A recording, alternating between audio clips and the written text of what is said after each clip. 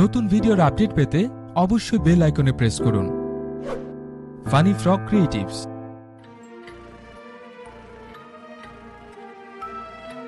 এই পৃথিবীর সবচেয়ে বুদ্ধিমান জীব মানুষ। আর সৃষ্টিতত্ত্ববাদ বা বিবর্তনবাদ বিশ্বে মানুষের আগমন ঘটেছে কীভাবে, এ নিয়ে যেমন বিতর্কের শেষ নেই, ঠিক তেমনি এই প্রশ্নের সত্যিকারের উত্তরটা জানতে শুধু বিজ্ঞানে উৎক্রীব নয়, প্রতিটি মানুষের মনেই যেন কৌতূহল চিরন্তন।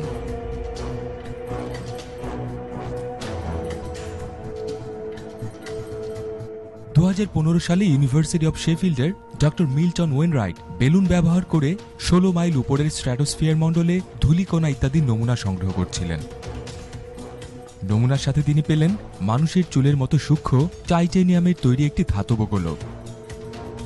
ওই অদ্ভুত গোলকে জৈবিক উপাদানের উপস্থিতি প্রমাণ পাওয়ার পর তিনি দাবি করেন, এতে জেনেটিক উপাদান থাকতে পারে যা জীবনের উৎপত্তির সম্ভাবনা নির্দেশ করে।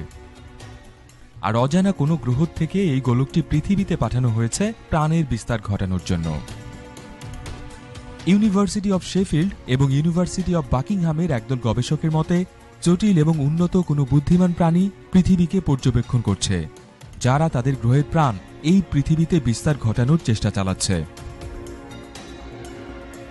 অনেক বিজ্ঞানীর মতে, মহাশূন্যেও প্রাণ টিকে থাকতে পারে এবং গোটা মহাবিশ্বেই তা ছড়িয়ে পড়ছে গ্রহাণু, উল্কা, ধূমকেতু বা অতি ক্ষুদ্র গ্রহের মাধ্যমে।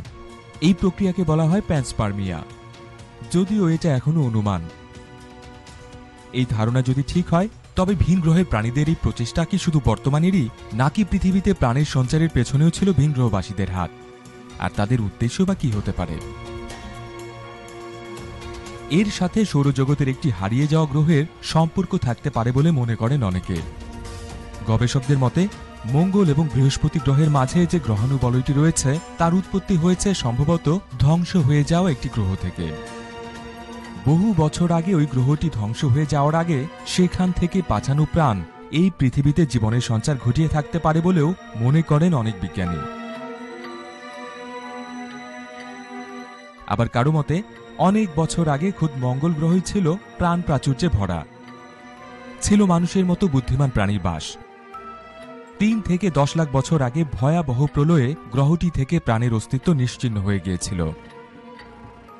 অনেকের মতে, মঙ্গল গ্রহ বসবাসের অনুপযোগী হয়ে পড়ার আগেই হয়তো মঙ্গলবাসীরা নিজেদের অস্তিত্ব টিকিয়ে রাখতে পৃথিবীকে বেছে নিয়েছিল।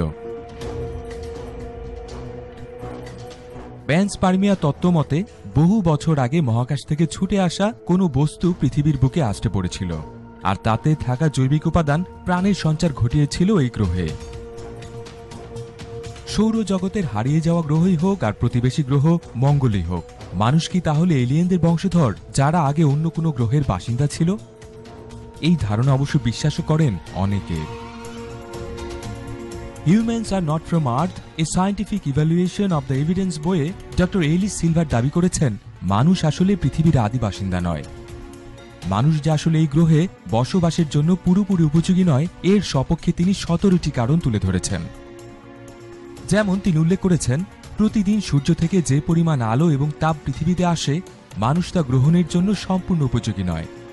দীর্ঘক্ষণ রোদের নিচে থাকা মানুষের শরীরে বিরূপ প্রভাব ফেলে।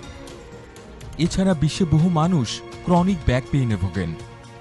আর এটা প্রমাণ করে, মানুষের উৎপত্তি হয়েছিল এমন কোনো গ্রহে যেখানে পৃথিবীর তুলনায় অভিকর্ষ বল অপেক্ষাকৃত কম। আর দিনে চব্বিশ ঘণ্টার পরিবর্তে পঁচিশ ঘণ্টা মানুষের জন্য সবচেয়ে উপযোগী বলেও মত দেন তিনি। তার মতে আমাদের প্রতিবেশী সৌরজগৎ আলফা সেঞ্চুরির কোনো গ্রহ থেকে প্রাণের সঞ্চার ঘটেছিল আমাদের এই পৃথিবীতে। মহাবিশ্বের রহস্য যতই ভেদ করার চেষ্টা চলছে, ততই যেন উত্তরের পরিবর্তে আরও নতুন নতুন প্রশ্নের জন্ম হচ্ছে। এই বিশ্ব ব্রহ্মাণ্ডের এত সামান্য আমরা জানতে পেরেছি যে তাতে এখনই বলে দেওয়া সম্ভব নয় পৃথিবীর বাইরেও প্রাণের অস্তিত্ব রয়েছে কিনা। আর আমরা আসলে এই গ্রহে এলিয়েন কিনা। আপনাদের কি মনে হয় তা কমেন্টে জানান। ভালো লাগলে লাইক দিন এবং শেয়ার করুন। যুক্ত হন আমাদের টুইটার এবং ফেসবুক পেজে। আর সাবস্ক্রাইব করে থাকুন ফানি ফ্রক ক্রিয়েটিভসের সাথে।